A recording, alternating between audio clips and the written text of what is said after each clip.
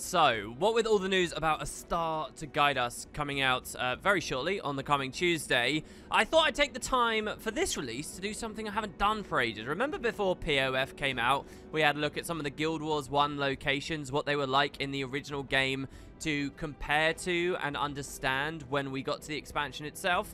Well, how about we do that again? I could have done it for Istan and stuff, but uh, since we have very express understanding of where we'll be, the Jahai Bluffs on this next release, I thought this could be something fun to do. Now, if you've been watching all my content and coverage already, you'll know that on one of the recent videos, I kind of went to that Shaman's map and we did a bit of a comparison there. But in this video, I thought it might be fun to actually see the locations, see the difference between the areas, and this means if you watch this as a Guild Wars 2 player who never played the original and you link it to people who never played the original, you'll hopefully get a lot more enjoyment out of the patch because I feel like that's a big thing, Path of Fire and Forwards. Uh, there's so much stuff that honors all the old things, and you might feel a little bit left out. Well, hopefully a video like this might improve that somehow. So yeah, let's talk about things. Where am I right now? Well, the Sunspear Sanctuary. This is actually it in engine. I'm playing my Paragon. Before all of you ask in the comments as well, I am running a UI mod. Uh, this is Minimalus UI. You can find it on the Guild Wars 1 wiki. I'm also running the skill icon add-on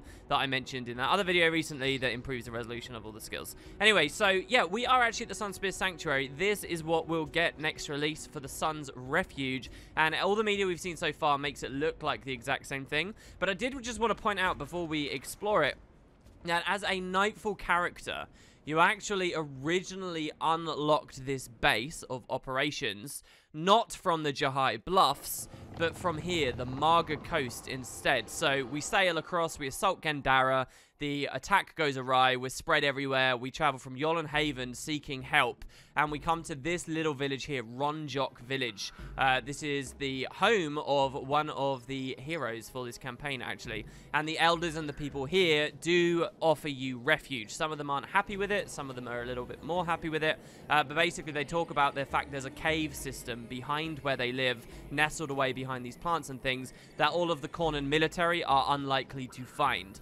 as you can see here. And this is the original entrance to the Sunspear Sanctuary. Um, that guy complimenting us. So as we move through, this is kind of the cheesy thing I mentioned in that previous video you kind of go through a loading screen and we warp a pretty considerable distance really far underground. So all this area of the map, as I explained, is unexplored. And we can sort of check out the cave. The cave is pretty vast, but uh, what this might be like at the surface remains a mystery to this day. The reason I kind of wanted to point that out in this video here as well is that, frankly, I don't think we're going to get anywhere near the original cave entrance over here at the Marga Coast. Uh, if we're going to the Jahai Bluffs, and if they're going to get a lot of the other cool places, like the Chantry of Secrets and stuff, I just can't imagine the map extending this far along. You know, the Domain of Kourna is only a size of, you know, this kind of box here. So, I don't know whether we'll see the original entrance. We'll probably see some of the other entrances, which I'll get into now. Uh, but yeah, this is the actual sanctuary. It's a huge cave with very little going on, frankly. There was a mini mission, a mini instance quest you had to do here on your first arrival, where you clear it out from grubs and spiders and just general insects and things that have come in over the years. I wonder if Guild Wars 2 will replicate such a thing, or the place has been kept comfy ever since the time of Kormir and the Sun Spears that actually rebelled against the Kournans and prevented Nightfall. Maybe it's become something of a revered place, but back now in the timeline, 250 years ago, it was just full of insects and nasty stuff. You do clear it out and make it safe for your guys, uh, and you get all these like fountains here, right, with the water, the cleansing waters. These uh, are various areas you had to purify in that mini instance. There's one here, one here, and you'll notice in some of those screenshots for a star to guide us, it looks like this kind of thing is back, except they're like fireplaces now, and maybe they're individual areas that we light up, and, you know, we cast this big golden glow. You'll also notice there are some, like, trenches dug into the floor, maybe connecting them all, and I wonder how much uh, artistic liberty the devs will take with that. Uh, but yeah, originally, uh, for the first game, the big ticket item is this is a big chasm where there aren't really any NPCs stand around. You do a mini mission, and then you never really look back at. Uh, we, of course, do get, because it's Guild Wars 1, area lore. So this is what it was uh, described as originally. Carved as a shrine to Melandru in ancient times. So this would be considered ancient times even 250 years ago. Uh, and the the origins of the people who actually made this, who worship Melandru, we really don't know much about. Were they people from way back when, uh, you know, around the same time that Fahranur was erected. The devs never explained. Uh, they don't have to, you know, that mystery is one of the exciting things about the world. Uh, this red rocked vault was once used as a cistern by the Kournans to contain the Elon's floodwaters. When that enterprise failed, the sanctuary was walled off and forgotten, inhabited only by things that like to live in the dark. Now it serves as a secret refuge for the Sunspears. So, one of the things that Nightfall did beautifully, especially around the Elona arc, is it kind of has this idea, this big river, the River Elon, that brings life to this region of the world. Uh, I guess it's kind of our version of the River Nile or something, right? So there were so many different stories about how the people here utilized the Elon, and this is just another little one. You can see maybe this small tributary that comes off here. And uh, yeah, that's why that big story of Joko damming it and starving everyone away was such a cool thing from the movement of the world that I don't know how much the sequels really touched on well enough just yet, especially considering, look, a lot of the Elon and the delta that it forms was around the Dejarin estate and stuff, which was last patch. Uh, so, hey. Anyway, that's the Sunspear Sanctuary, and really it covers such a vast area um, that we don't get to see because it's all behind these loading screens. So, here's how it mechanically actually worked. You got a few quests here from, say, Lonai, um, and of course, we have the cool Living World stories to do with that recently, if you've been following very closely. Yeah, the henchmen, but not much going on. The true magic happened here at the command post. Where I'm currently stood is like a Guild Wars 2 map. Any real world player could be wandering around here. And when Nightfall originally released, there would have been tons of people here because this was a big quest hub. Obviously, the game's a decade old now and we don't see many. But the magic happens when you come through this portal, where I'm no longer in a regular kind of open world area, if you will. I'm now in my own little mini instance. And it was actually the command post explorable area that was updating and changing constantly. So you see all these NPCs now, the smugglers. I love the idea of these old buildings, by the way, and that we might, act, these, I guess, would have been like the waterworks before, and the idea we could actually explore them in Guild Wars 2. The smugglers and the skill trader and the profession trader and my various heroes, they all get added through doing side quests to actually build it up.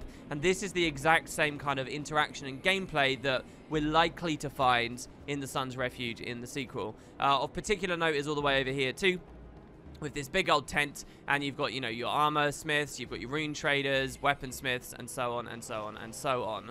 Uh, but the other thing from the command post was not just this or the fact that your heroes updated here and gave you different quests but also that there were lots of portals leaving from it. So if i go through this portal here i'll end up in this map called Turai's procession. I'll just skip all the way up here and we'll be off. So the question is Next release, a star to guide us, when we get the Sunspear Sanctuary and Command Post together, are we going to find a closed-off gate or doorway to the north, hinting at a map up in, you know, we're talking Kralkatorrik's resting place now, 250 years in the future, that would take us to Turai's procession. Is it going to be locked until episode 4 is done and we move into episode 5. And then maybe we'll get another episode that unlocks another portal down here. So it really is kind of that same sense of a central location with lots of spokes coming off.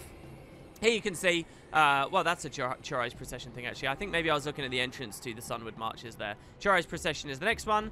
And over here is kind of the big one that we're really looking forward to, the Jahai Bluffs. So as you can see, we entered from the Marga Coast, and through two uh, portals, we kind of move this vast territory now out into the Jahai Bluffs, and not just the Jahai Bluffs, but kind of the middle of the Jahai Bluffs too. So this bridge here that you just saw I walked through, like on the loading screen, that's what I'm wondering if how Guild Wars 2 will do. This entrance to the cave, this could be the entrance we'll see upcoming on Tuesday. And it's near some phenomenal landmarks. Uh, notably, of course, the monument to the defeat of Palawa Joko, which also happens to be a monument built over his tomb. So I'll show you exactly how this looks. My gut is that maybe at some point in the patch, having just defeated Joko, uh, Dragon's Watch will get together and say, alright, what should we do? Uh, and maybe somehow we'll be led to his tomb based on the fallout of his defeat. But here it is. You've got this uh, face here. I guess it kind of represents him. There, interestingly enough, there was another quest that took place here that where you spawned a titan at this monument, if I remember rightly, which is really strange. The idea that a titan was being held captive here near Joko. I doubt that Guild Wars 2 will touch on that story too much, though that would make me quite giddy. Uh, but yeah, this is uh, kind of an ominous looking landmark, which we can interact with Let me flag my heroes over there. So it says this monument commemorates the defeat of Palawa Joko at the Battle of Jahai. So remember, we're at a place called the Jahai Bluffs, where he was defeated initially by Turai Ossa on his original invasion attempt ages before even Guild Wars 1 was here. It was just north on those cliffs above us at the Grand Cataract. In fact, one of the Nightfall cutscenes shows some of our NPC allies standing up there, so it's sort of vaguely playable terrain, but you can't really go there without the bonus mission pack. Um, but so he was defeated in this area of the world and entombed and commemorated in this area of the world. After 100 days of bloody battle, Turai Ossa and his elite troops defeated Joko's undead forces of grey giants and undead centaurs. Uh, yet, despite attempts made with magic, blade, and even darker means, Palawa Joko could not be killed. Turai Ossa's elite forces chained him by magic and bound him deep in the earth. Thus, the Undead Lord's defeat was complete, and Palawa Joko sealed away forever in a location kept secret by the Order of Whispers. Now, you notice this text doesn't explicitly say that he's buried here, uh, but the Nightfall manuscripts have this description of Palawa. They say his body is said to have been imprisoned beneath a huge stone plinth, which we could interpret this as. And during the main story, when the realms of Tyria and the realm of Torment start blending together, as we stand here, we watch Palawa get freed by these activities of Abaddon. It's kind of a mistaken belief in the community that the hero of Guild Wars 1 freed Palawa. That's not true. The hero of Guild Wars 1 helped Palawa out after he was freed because of the two realms coming together. And it just so happens that it was the same location here, by the way, that as Palawa breaks free, Kormir uh, actually is imprisoned in the realm of torment herself, and we've kind of just followed Joko as he runs off to the desolation through Turai's procession. So a lot of big things happened here, uh, right at this monument, not even including side quests. This is the last place that a living Kormir was actually seen on Tyria. Blinded, crippled as she now was, after she disappears from this location, she's trapped in one of the afterlives, kicking ass still, to be honest, but and then eventually becoming a god. This was where she ceased to be as a mortal on this plane. You'd think maybe the Sun Spears would care about that. A lot of humans even. And, you know, this would be a really interesting, cool place for the devs to take us to right in the next patch. And oh, guess what? There's a cave nearby where maybe we can start rebuilding the Sun Spears and doing good stuff. I'll note as well, if you remember, this is supposedly branded now up here. I really hope we get to go underground and see the tomb intact, but maybe it's all crystalline and just branded and horrible there nonetheless. Uh, so yes, that's probably the biggest thing from Jahai Bluffs. Obviously, because we can't go to the uh, Grand uh, Grand Cataract and the bonus mission thing right here. Uh, but I do want to show you some other stuff. That's the main garrison. I'm expecting that place to look and feel and play a lot like last patch did, where it will be full of Awakened with the other garrison, and we maybe have to take it out. Perhaps not through such stealthy means this time. Maybe we'll go in there guns blazing. Uh, who knows how many forces we have around right now since um, Blish vowed not to use any more of those portals. Uh, so yeah, you've got that. There's more things to the south as well. There's lots of Mandragora spawns. There's some little Centaur-related things, if I remember rightly. But most of the great stuff is on the north of the map. So let's follow along over here to even more big, big strongholds and buildings. And this is the really cool one that I want to talk about. Let's get a bit closer. I'll take these insects out and see you guys in a second. So you'll notice uh, as we run now that the map in the original game was pretty flat, pretty open. You know, I think it would be wrong for me or anyone else when we get there on Tuesday if it's very flat and open uh, to kind of criticize Guild Wars 2 for that because it was pretty barren here in the original. Uh, and this seems sort of perfect for roller beetles, right? I know that there's no way we could get a roller beetle in the original game, but I just feel so tempted to glide around on these big hills and see how that feels, especially with the new endurance. Um, of course, this could all be branded as well at this point. But uh, yeah, if you look over here, there's a massive, massive, massive monument. Now, what this is, is the Fortress of Jahai. This is probably the, aside from Gandara, the Moon Fortress, the biggest military stronghold and fortress you find the Kournans have 250 years ago. Uh, you can go quite deep in there. If you look at my compass up there right now, you'll see that there's a lot of hostile enemies. So it's a real slog to go through. And what the devs are trying to telegraph, basically, is, hey, don't go here. This is too dangerous. If you do manage to kill everything up there, there's like a, a buried chest you can maybe get, uh, but the door is locked. In lore, in universe, it's an official like way to get up to Vabbi. It takes you to this place beyond the Utendi Caverns, and you get to continue going. But in the game, we're not allowed because we're at odds with the military of Kourna. And so we have to sneakily go through the Bahdok Caverns and we go on a bit of a, a, side quest to get around it. So in Guild Wars 2, I'm really looking forward to being able to, especially with all the mountains and stuff, just climb around, make that place my own and see whether the devs have added interiors and all that good stuff over there. Another cool thought is the Yatendi Canyons on the other sides. They were enormous cliffs, and you were just winding your way between them. If in Guild Wars 2, uh, because of my Springer and my uh, Griffin and stuff, I can now explore the flats way above. That's like giving the same area of the world, but again, doubling the playable terrain. Be cool to see how the devs do that and recreate that epic sense of scale, even in Guild Wars 2, where they struggle so much more to deliver it. I'll also note that you could find an alternate Nightfallen version of this garrison when you go to the Realm of Torment at the end of the campaign, but uh, obviously there's no reason to believe that will rear its head in this patch, right? Uh, so, yeah, I'm expecting Jahai Bluffs will give us all of that. Uh, now let's talk a little bit about the floodplain of Mahnkelon and the Mahnkelon Waterworks. Uh, perhaps I can show you it easily from the Moddok Crevice uh, outpost here. So this is where we enter the cave, the Bahdok Caverns. I don't know whether the next patch will give us all this, this terrain. The only tip-off I feel is worthwhile right now is that there was that uh, documented change on the world map to the waterworks a bit back, suggesting there could be a map here, but I'm not entirely sure. Again, it's another big, uh, well-policed area that they, uh, you know, have various dams and filtration set up on the River Elon as it flows through. You might be able to get a bit of lore here, uh, perhaps at the Rilohn Refuge. Let's see.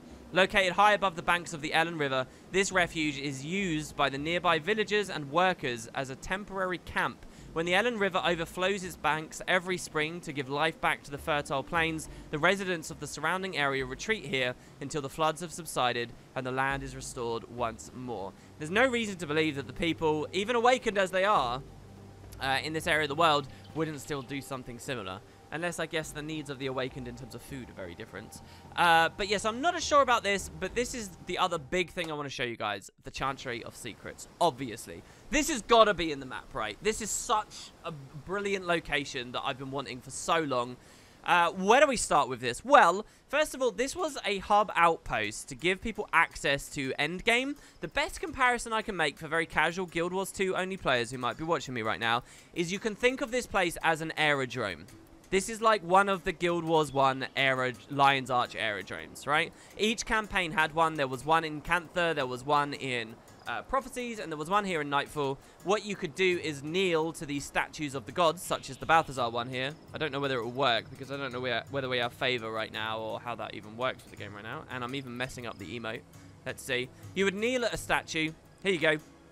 A envoy of the god would appear. You would pay the money, and you would enter an elite endgame instance. And you could go farm it. This one, in this case, the Fissure of Woe. If I did it at the Grenth one, I'd get to go to the Guild Wars 1 Underworlds.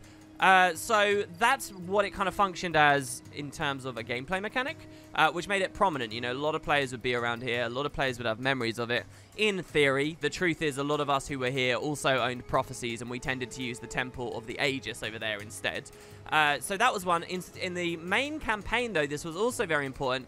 This was the original chantry. Let's listen. The Order of Whispers tends the home of the statues of the five true gods, while also using the chantry as their base of operations. A secretive order, they welcome visitors, but do not share much in the way of information. The Order as we knew them 250 years ago were very different to the Order as we know them now. They weren't splintered into two different organizations, Order of Shadows and Whispers. There was no Order of Shadows back at this point in the timeline. Uh, and they were more like demon hunting oriented than pure stealth and uh, sabotage kind of thing and subterfuge. But they were based out of a place called the Chantry. So essentially what happens, guys, is into over the next 250 years, the people who are here and name this their headquarters fracture in two. Some of them continue focusing on domestic stories, some of them realize the Elder Dragons are a bit of an issue and want to look at core Tyrian problems, and they go north. The ones that went north continued to call themselves the Order of Whispers, the ones that stayed called themselves the Order of Shadows. What of the new Chantry then? Will we finally get the story as to why they, you know, listed a whole new one there? Was this one leveled? What happened in those 250 years? Is it still there? How does it compare to the Order of Shadows activities in the Darklands now that we got in the Path of Fire expansion? These are all questions I'm desperate to know the answer to. And also, you know, the statues too. Uh, just to be clear, the last time we got one of these aerodromes, the Temple of the Ages, that's Godslost Swamp, where the Shadow Behemoth spawns. A really awesome world boss, and it's all flooded and underwater. Godslost Swamp to me is one of the coolest examples of seeing a Guild Wars 1 iconic location reimagined into the sequel. And here, for the first time since launch of Vanilla 2012, we get that again. Will this one be flooded too? Who knows? A final extra little thing as well was this gate here. Uh, with this Guardian of Whispers. And you could never go behind this gate your first time visiting this location in the campaign. But on return to this location, you could speak to this dude, and he would say, the area behind these doors uh, is not ready for public access, and we could say, ah, but I would like to pay my respects to the new god Kormir. And you just heard the five true gods in the outpost description there. Well, don't forget, at the end of Nightfall, a new god is birthed into the world. And the devs added that to this location. Check it out. There is a final new statue. And this is the first depiction of Kormir in statue form we ever had. This is her actually holding up Abaddon's cowl, his head, right? And she's got her book. Uh, and you got our inscription here. This was the first time we got to read this. And so it came to... You'll read this multiple times in Guild Wars 2. And so it came to pass that Spear Marshal Kormir, hero of all Elona, was pulled into the inky blackness surrounding the God of Secrets. And though her sight had been robbed, her body racked, and her spirit flayed, she remained resolute. And so was she joined within the realm of torment by fearless allies. The blood of Elonia, that's my name's my character's name, and other great heroes who stood at her side as she sought to thwart Nightfall. Together did they battle through fear and anguish, madness, until they at last stood before the face of the imprisoned god. He who had once challenged the Five and lost. He who had threatened to break the chains placed upon him by the other gods. He who now sought to bring Nightfall to the world. The Dark God, Abaddon. And so did Kormir and her allies engage the Dark God in titanic battle, and through her power and their combined skill and bravery and the blessing of the five true gods did Abaddon at last face his ultimate defeat. Yet the power of a god cannot be destroyed, and Kormir, making the choice that only a mortal could make, did take upon herself the mantle of the goddess of truth, with all its power and responsibility, all its dominion and duties. And so, by mortal hands, did a new immortal enter creation. And obviously, Kormir had a lot to do with the Path of Fire story. This isn't where that happened, but this is where that information was first being detailed and logged and shared. And so when you play Ascalon Catacombs in Guild Wars 2 250 years later, and you find a statue of Kormir in there, you know, the people who did that will have looked to this place as inspiration. So here's the question. What has Joko done with this in the meantime? Has the Order managed to keep Joko's forces away? Was this all managed to keep a secret? Uh, and just like the other statues as well, by the way, we could kneel here and the gods would come and we could get to this end game area the seer of truth this is Kormir's avatar one of the rare opportunities you get to interact with it she takes you it costs no money this time to uh, the the domain of anguish the elite area for nightfall so, will we see hints at all this stuff? Will we see another Shadow Behemoth? In I mean, we know we've got a confirmed new Shatterer, right? It looks a little bit smaller. But could they do another thing because this was kind of close to the other realms? Ah, it's got to be in this patch. I'll be really hyped if it is. It's just north of the Fortress of Jahai. And, uh, yeah, maybe we get a bit of Turai's Procession. But, uh, you know, I'm sure that there'll be more opportunity to look at this and where the borders of the Desolation are with other maps in the future. And yeah, there you go, guys. That is uh, realistically what we get. The Codnor Crossroads is where maybe the last episode could connect with a new one. Codnor Crossroads. At the crossroads of Cadna, uh, no one will speak ill of War Marshal Varesh. Her right control over trade has made the merchants here rich.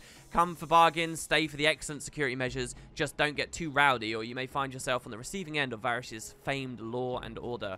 Uh, so there is this area and maybe this will sort of be reimagined in some cool way. The rest, the devs kind of have an open playground, right? They have got an open field to do what they like with. This is what it looked like in Guild Wars 1 remember this video, enjoy this video, and make sure the people you want to really enjoy the game watch this video so that when the patch comes out, you can kind of actually resolve some of these differences and uh, increase your enjoyment, hopefully. Let me know if you guys still like this kind of production. If you do, I can easily uh, crack some of these out for the upcoming maps as well. I do regret not having them done for Istan, but I guess it depends on the viewership and all that kind of stuff. Boring, boring, boring, I know. So yeah, cheers guys. Hope you enjoyed. I'll be back very soon. I've got a big announcement as well for a cool project I'm going to be doing on patch day. Stay tuned for that.